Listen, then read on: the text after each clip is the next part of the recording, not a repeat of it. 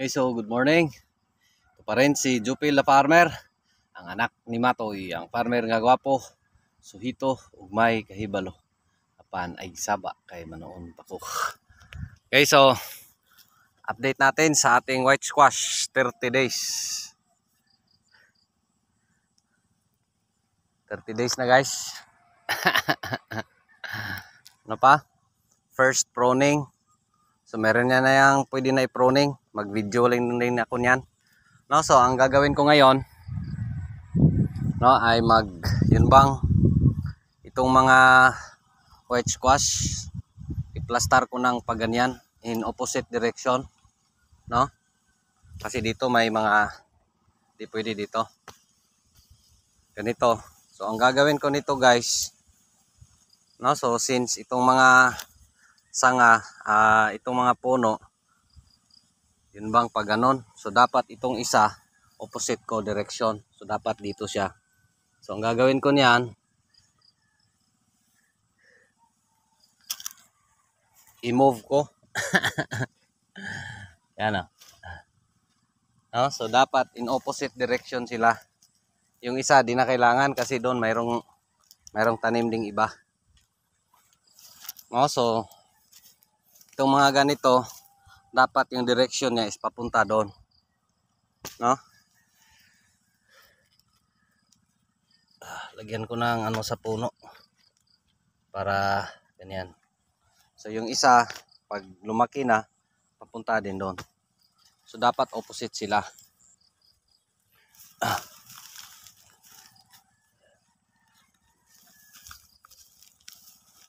no? So yung isa pwede na nating i-pruning to guys. No, tingnan nyo. Yung mga sanga niya sa ilalim. Later na yan mag video din ako niyan para simplified. No so again dapat in opposite direction. No yung isa papunta doon sa taas. Yung isa naman papunta dito. No so ito. No so dapat dalhin natin siya dito. Guide natin dapat dahan-dahan lang rin. Kasi posibleng mabali. No, so ito yung mga sanga guys. Pwede na yan i-prone later na. No, so dapat ito dito. Ah, explain ko later bakit kailangan ganyan. No, so gaya nito silang dalawa nagsabay-sabay papunta doon so dapat itong isa dalhin natin dito sa opposite direction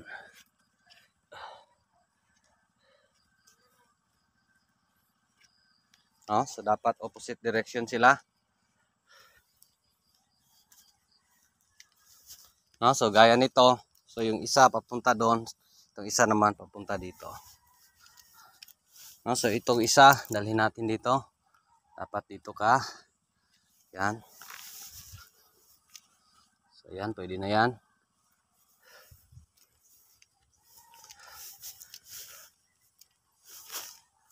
No so ito rin. Dapat opposite direction ha?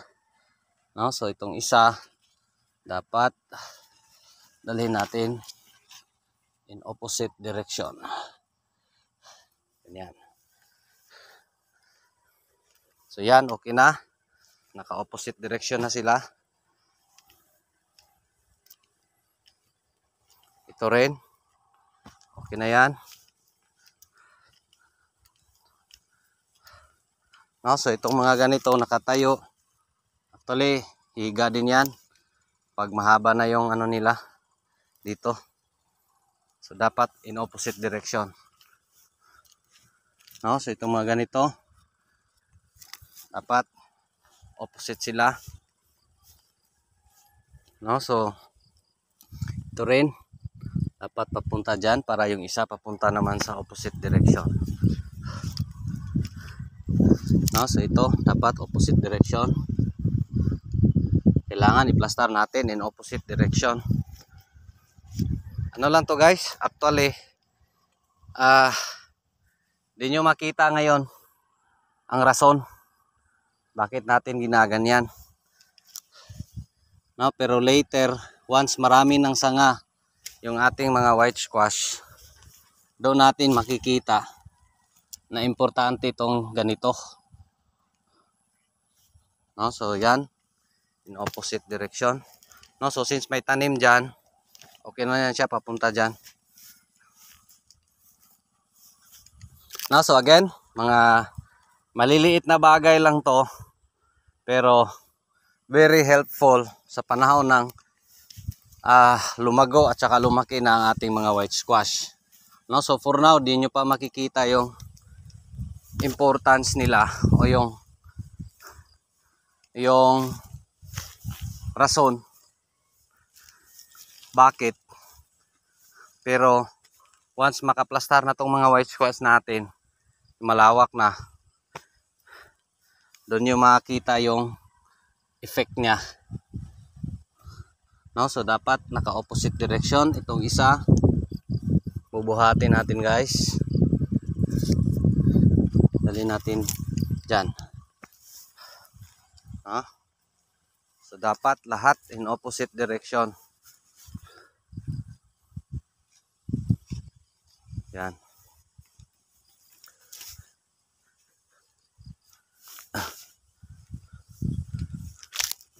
No, so, hindi naman talaga ano, yun bang pantay-pantay ang kanilang pag paglaki. Sobrang lapit lang to pagkaararo guys. Na stress. No, so dapat yung isa yan, opposite.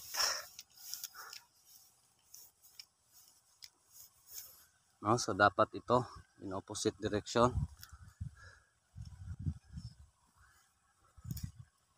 Yan.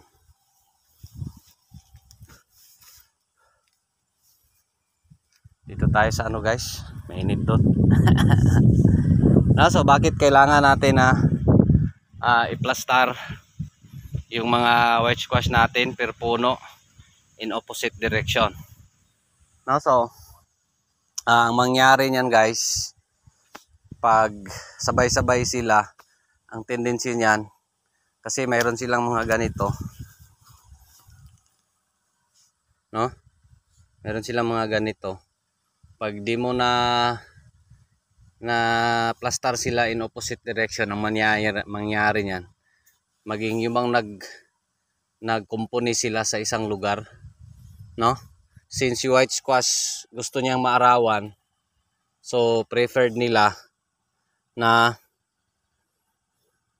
yun bang sila sila lang? No kung ang tendency niyan pag hinayaan niyo na sila papakita natin yung bang nag ano ano. Yun bang pa, pareho ang saan sila pumunta? Ano ang difference? No so ang mangyari for example ganito.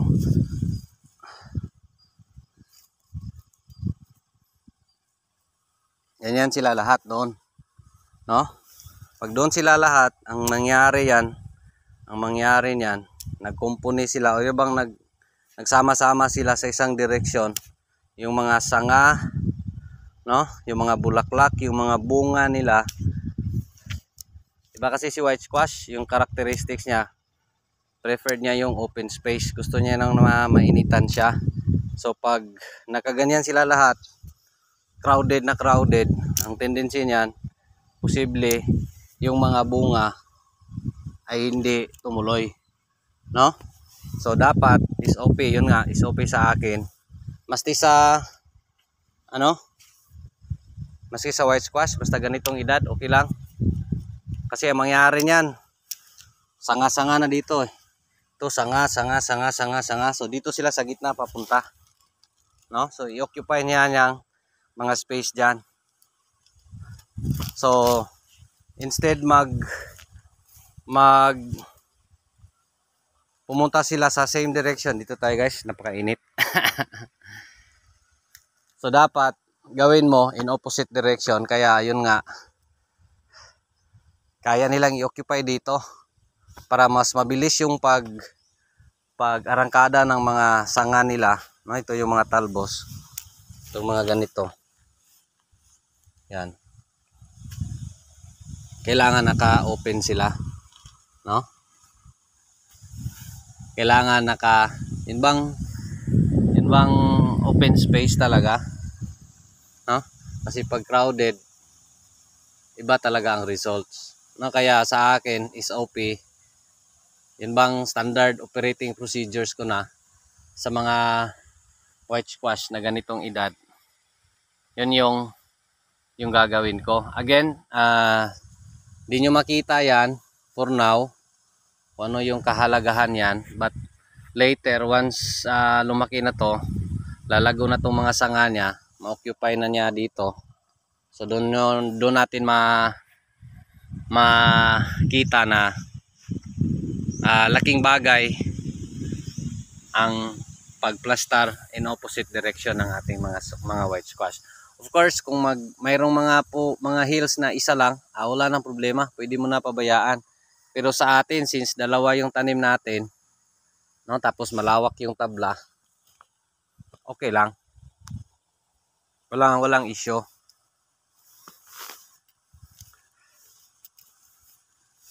No, so again, sa akin importante ang pag ang pag plastar nila in opposite direction kasi yun nga yung mga sanga nila kailangan nila ng open open area open space para madali sila umarangkada. Madali tumubo yung mga sanga. At saka hindi maging crowded.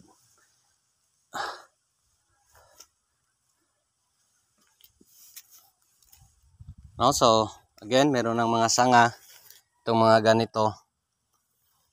Doon sa mga nauna nating na i-prone. No, pero sa edad niya ngayon, di pa marami. Kasi bago pa lang tayo nag first proning. No, so again, madali lang si white squash. Madali lang i-manage.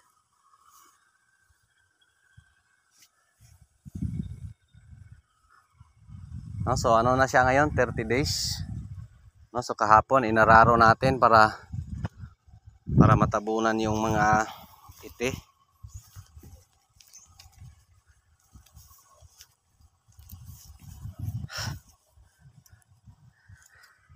No, so yun lang guys. Update natin sa ating 30 days white squash. No, bakit kailangan nating i-plastar in opposite direction yung mga puno.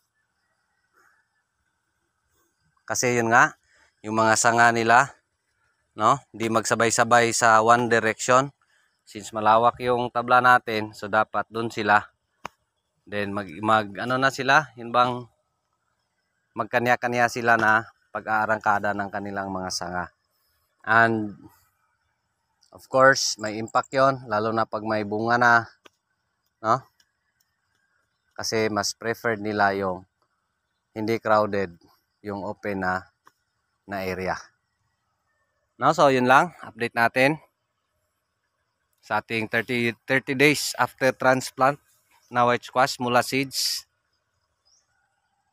Ano na? Ah 90% naka first pruning na tayo. So in a matter of 3 days mag ano na din tayo to one week mag second pruning na tayo. No so doon sa second pruning ipakita ko rin kung paano. Sana makatulong. Ewan ko ba kung may nagsubaybay ba nito? Shout out sa mga nagsubaybay sa white squash. No so yun lang guys. Mag comment naman kayo kung mayroon man. Joke lang bitaw. No so ito pa rin si Jupil la farmer ang anak ni Matoy ang farmer nga gwapo suhito ugmay kahibalo pan ay saba kay manoon ko daghang salamat and God bless